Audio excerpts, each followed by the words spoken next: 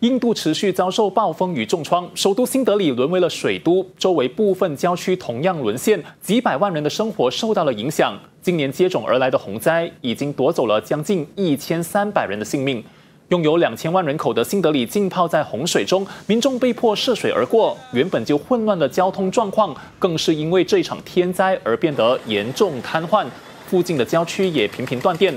素有“印度沙漠之邦”称号的拉贾斯坦，由于水位上升，博物馆被迫砸开玻璃展示柜，取出了两千三百年历史的埃及木乃伊，以免被雨水淹没。